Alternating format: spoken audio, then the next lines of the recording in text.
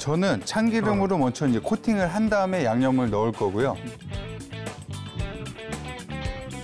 송우 셰프는 이 양념에 참기름까지 다 들어있는 거를 그렇죠, 한번 다 같이 묻혀보겠습니다. 네. 그래서 네, 예. 비교를 한번 해보도록 하겠습니다. 부추를 버무려 주는 거죠.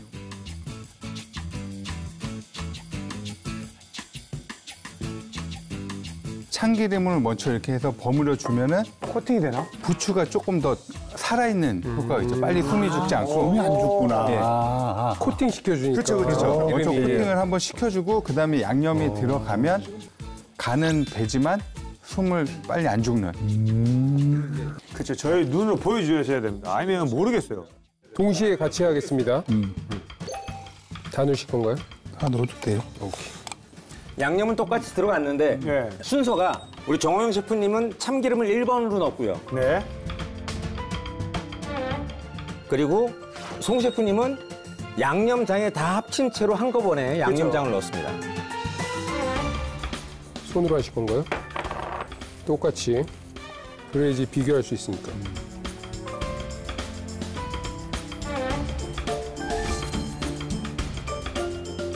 색상은 뭐 거의 비슷합니다.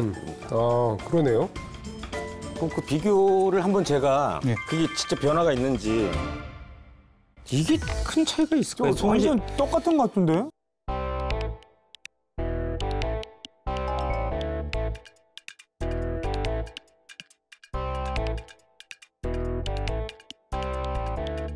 송훈 셰프님 먼저.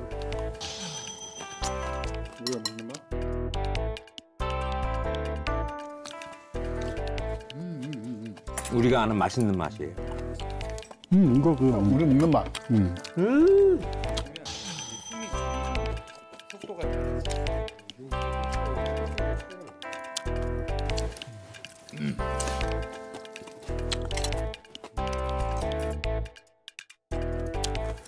나? 맛이 달라요. 아, 진짜요? 에이, 맛이, 정말요? 맛이 달라. 다르네. 그리고 약간 부추 맛도 참기름 처음 버무린 게 훨씬 훨씬 많이 나요. 맞아요. 이 고소함이 주로 오네, 주로. 음. 그리고 되게 싱싱하고. 시간이 지나면 이 숨이 죽는 속도가 달라지죠. 음, 윤기도 차이, 시각적으로 차이가 난다. 그러니까 송은 셰프하고 정호영하고 그 차이인 것 같아요. 그 차이예요 지금. 아 확실하게 차이를 달라. 느꼈습니다. 어, 예. 다릅니다. 완전 달라. 부추 무침은 무조건 처음에 참기름을 먼저 네. 부추에 좀 살살 버무린 후에 양념을 하는 게 훨씬 훨씬 맛있습니다. 맞아요. 그래서 부추를 올려서 이제 완성을. 와, 이게 이렇게 있나? 오!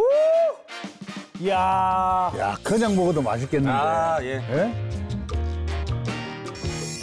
자 이렇게 해서 부추꾸미가 완성됐습니다. 예. 자 이렇게 해서 정호영 셰프님의 부추 꾸미가 완성됐습니다. 우리 김용호 씨 먼저 시식. 시식을 좀 하도록 하겠습니다. 뭐, 뭐. 와, 오늘 역대급인데요. 지금 계속 보면서 침 나와요.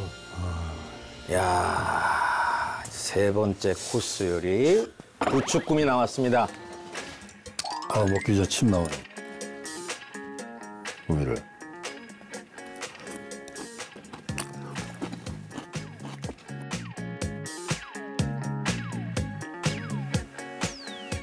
구나 침 닦아라. 와, 쭈꾸미가 살아있네. 와. 너무 맛있다, 이거.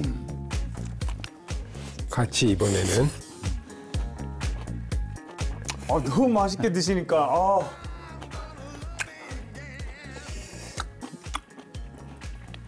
와, 짱이다. 야 짱이다. 부추 먹으니까 역시 봄이, 봄이 느껴져. 봄. 봄이 느껴지죠. 네. 어? 어? 어, 진짜?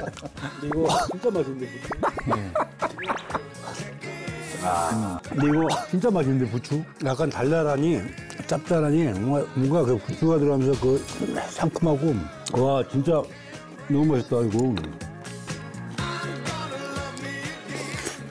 아 부추 아 부추 꿈이라고 하는 이유가 있었네요 진짜.